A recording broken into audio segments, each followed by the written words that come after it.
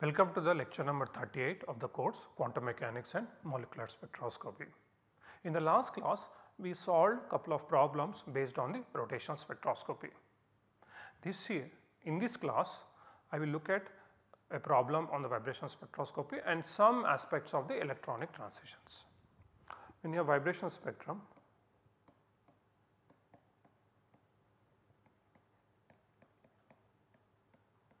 okay, one uses harmonic oscillator as a so we have talked about it when we use harmonic oscillator because at the bottom of the potential one can always have the harmonic oscillator and the wave functions look like this. Okay. I told you that you know the poten k is given by d square v by d r square or d r square evaluated r naught. So, if the r naught is your equilibrium distance. Okay. So, this is nothing but the second derivative of the potential at evaluated at the equilibrium geometry okay. and the bottom of the well one can always consider as a harmonic potential. Now, when you have a harmonic potential uh, the frequency V naught is given by by the way harmonic oscillator has only one frequency the fundamental frequency V naught that is given by 1 over 2 pi square root of k by mu. Okay. Now, if I can measure V naught okay, I will be able to get the force constant.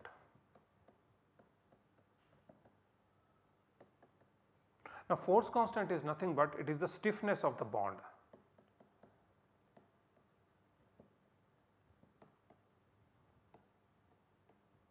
Okay.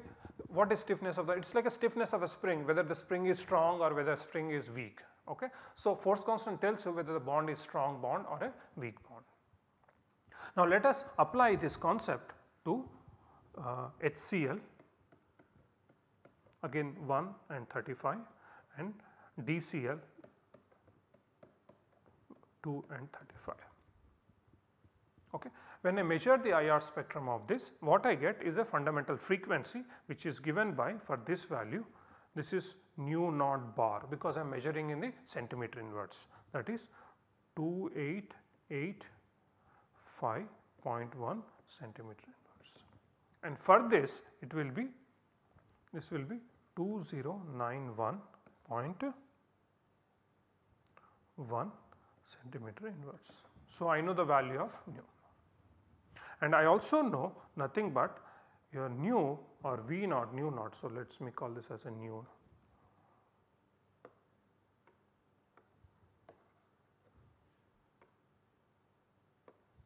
Let me call this as nu naught frequency. So, nu naught is nothing but equal to nu naught bar into C.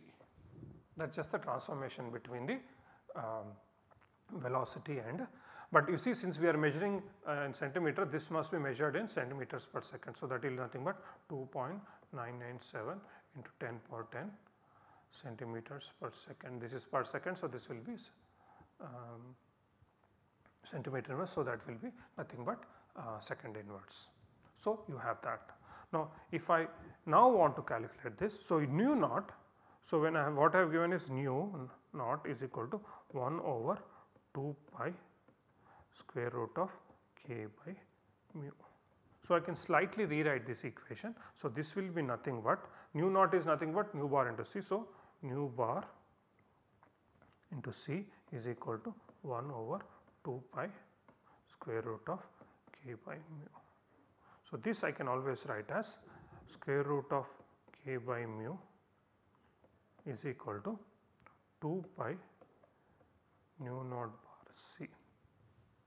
Now, I can take a square that implies k equals to 2 pi nu bar C into mu square.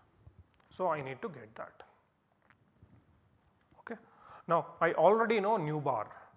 Okay. So, for nu bar or nu naught bar for Cl 35 is 2885.1 centimeter inverse and nu naught bar for DCl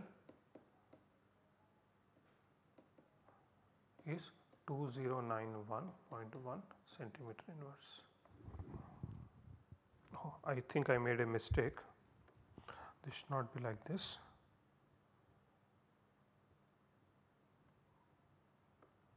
This should be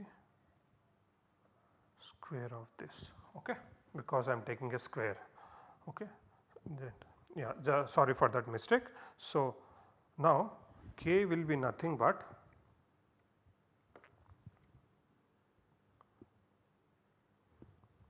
two pi c nu naught bar whole square into mu. Now, this will be nothing but 2 pi square is nothing but 4 pi square c square nu naught bar square into mu. So, this will be nothing but 4 pi square okay. c square is nothing but 2.997 into 10 power 10. I told you you have to take centimeters per, uh, per second as the speed of light whole square and the bar square is 2885.1 square into mu. Okay. Mu is nothing but for HCl H1 35 Cl mu will be nothing but 35 divided by 36 into 1.66 into 10 power minus 27 kg. So, if I solve this I will get value of 476.4 Newton per meter.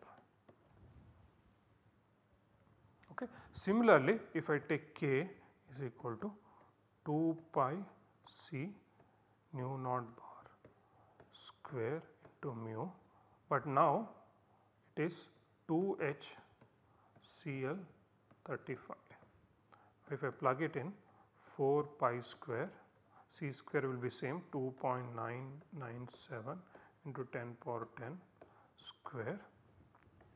Now this will be 2885 in the case of HCl, but this will be 2091.1 square because the frequency has changed into even the uh, reduced mass has changed. So this will be 70 divided by 37 into 1.66 into 10 power minus 27. Now when I do this I will get 486.4 Newton per meter. Okay. Now you see the force constant of HCl and DCl is actually not exactly equal even though one would expect that the force constant should be equal. Now, of course, there is an assumption that the frequency everything else are fundamental constants, nothing has changed except this frequencies are one which are measured experimentally. Okay. So, if these if one assumes that the frequencies that you have measured are accurate,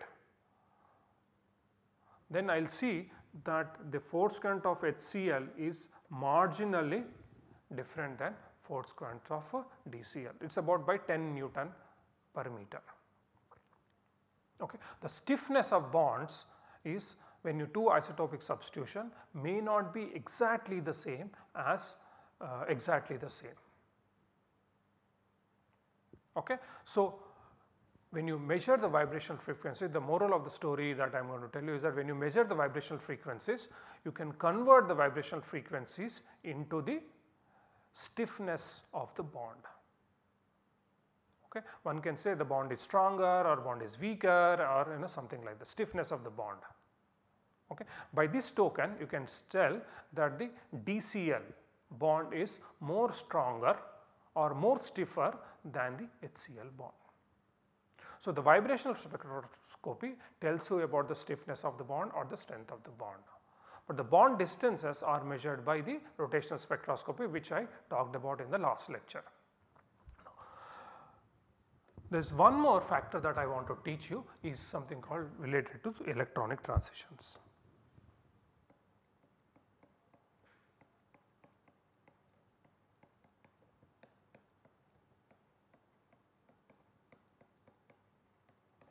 Okay.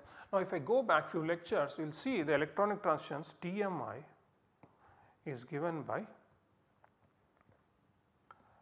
psi electronic excited state mu E psi electronic ground state multiplied by chi nuclear excited state multiplied by chi nuclear ground state. So, let me define what it is psi prime E is wave function of the excited state. Okay, of course, this has to be electronic wave function. Psi E double prime is electronic wave function of the ground state.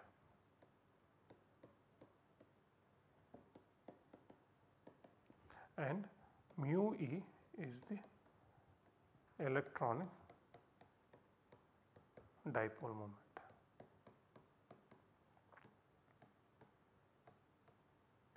And chi n prime is the nuclear wave function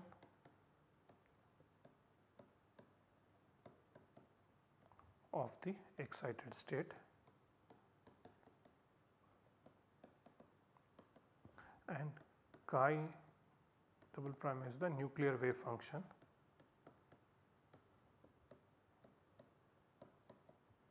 Of the ground state. Okay, there is one more thing that I have to tell you is that to get to this TMI we assumed that mu naught is nuclear is approximately equal to 0. Okay. Uh, this is Condon approximation.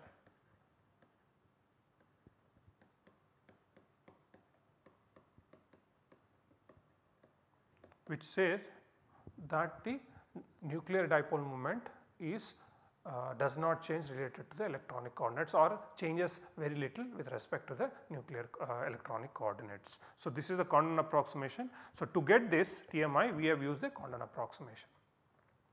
Now, this will tell you whether the transition is going to be allowed or not.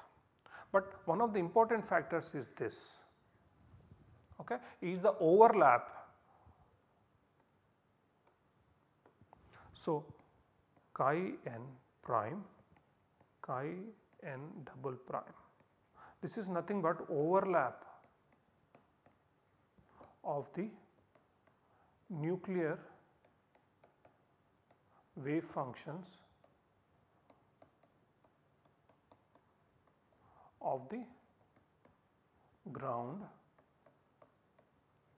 and the excited state.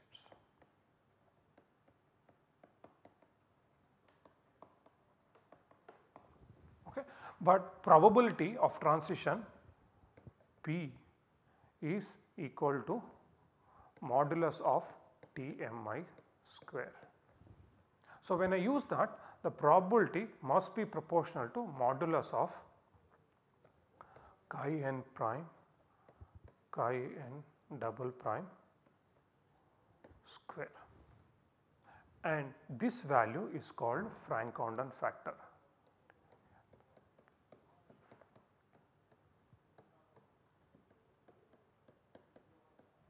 Okay. Franck-Condon factor is nothing but the overlap of the nuclear wave functions of the ground and the excited states square of it.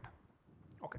Now, there is one small theorem that I want to prove is the now let us suppose chi n prime is a R wave functions okay let me call it some quantum number. let me give some quantum number f because final no excited state Okay. So, wave functions of the excited state nuclear Schrodinger equation and chi double prime n alkyl i is given by are given by wave functions of the ground state nuclear Schrodinger equation. Okay. Now, because these are the solutions of Schrodinger equation they should form complete set. So, you have a complete set chi prime n with quantum number f and forms complete set. Similarly, you have chi double prime n i also forms a complete set. Now, there is something that you must always remember is that whenever I have a complete set, okay, any other wave function can always be written as a linear combination of those complete set wave functions. So, which means I can always write chi double prime n n f should be equal to sigma over let us say k c k chi n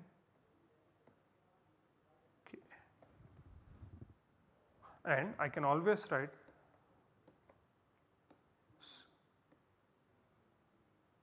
sorry this is I f is equal to sigma over k let us say j c j chi n j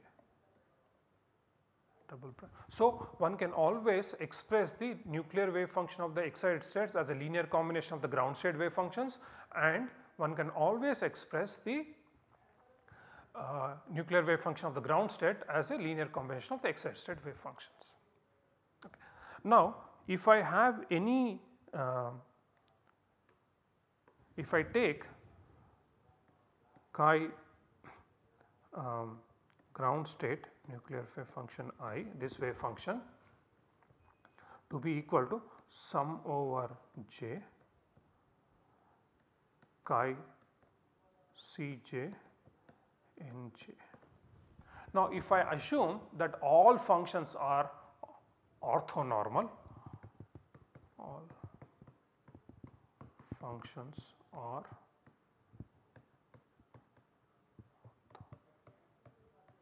normal, then it turns out that Cj square modulus of j should be equal to 1 because total coefficients should add up to 1.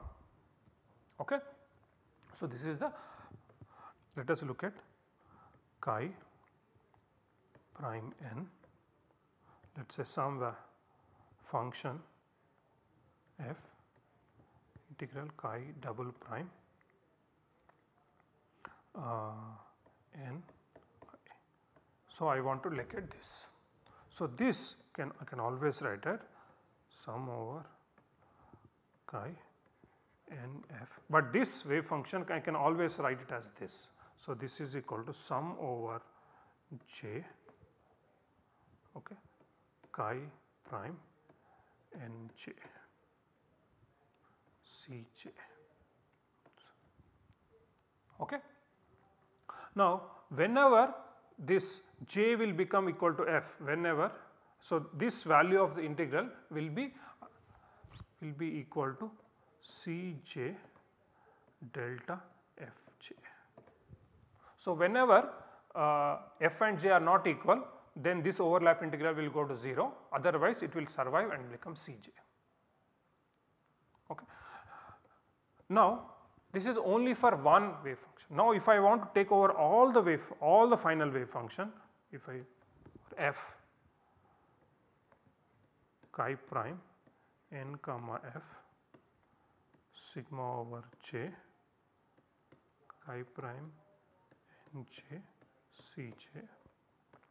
This will be nothing but sigma over f. Okay. Each of the time will get j, okay, but j is equal to f. Okay. So, if I get f, so what I will only survive when f is equal to say what will get is C f. Now, I do not want this, what I want is the modulus of chi n f f chi double prime n i square sigma over f. This will be nothing but sigma over f okay, C f square. Actually not like this because you have to individually square them not the sum of the squares so square of this. So, this is nothing but sum over f Cf square.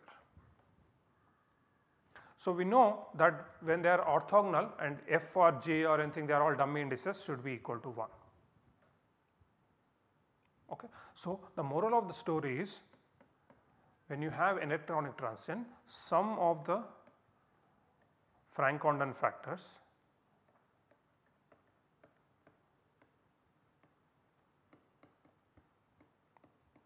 Must be equal to 1 which simply means that when I have a probability p that is equal to uh,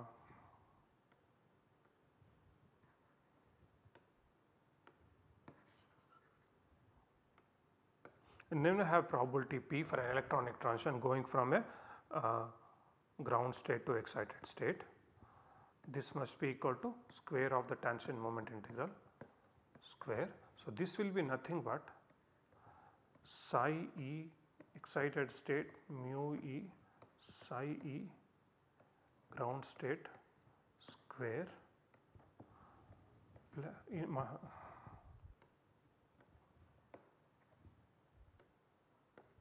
multiplied by chi nuclear prime chi nuclear double prime square but this is only for one wave function. So, if you have to look at all the nuclear wave function, so then it should be sum over all the nuclear wave functions f. Then, but this sum over all nuclear wave function is equal to 1. So, that is nothing but psi e mu e psi square because this is equal to 1. So, if you take the electronic transitions over various nuclear states vibrations and rotations and if you add all of them it should be equal to get equal to 1. So, the, the contribution of the nuclear wave function is only partial every nuclear wave function is only partial it can go from 1 to 0 if only if it is 1 then there are other don'ts others do not contribute if it is 0 that not contribute everything else will contribute. So, the sum of all the nuclear wave functions overlap must be equal to 1. Okay. So, that is the factor. So, what is that? Sum of Franck-Condon factors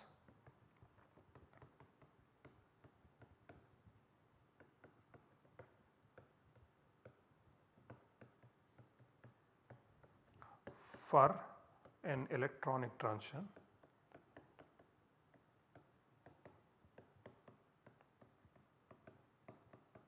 should be equal to 1.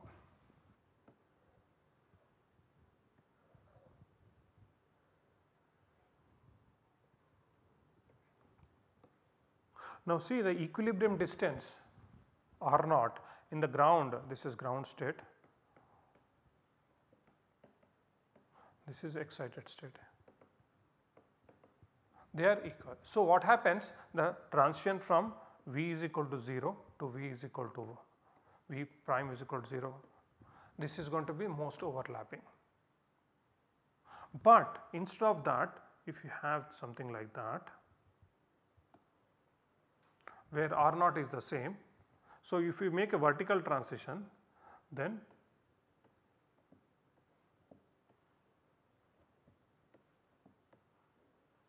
so we the lowest energy transition will not have the overlap. Overlap will be the next vibrational level not the V is equal to 0, but V is equal to 1 and uh, sorry not V is equal to uh, um, sorry 0 but V is equal to 1 and V is equal to 2. So, the transition will shift. So, based on whether the transition will be shifted or not shifted one can tell whether the geometry has changed or not. The geometry changes is largest, larger then the, the more and more the geometry changes the more and more the shift in the transition will happen. Okay. So, by the way this is called a vertical transition and the principle that governs is called Franck-Condon principle.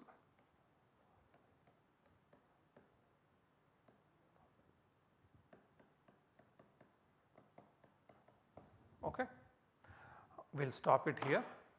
and this brings to the end of my lecture series in my this course.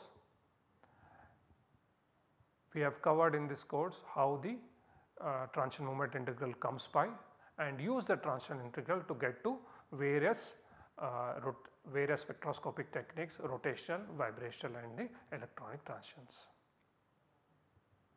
You can always give me a feedback about, about this course and I am always reachable on my email address that are uh, even when you, this course is not running you can always write to me on naresh at chem.iitb.ac.in my email address at the Department of Chemistry IIT Bombay to reach out on any questions that are related to this course.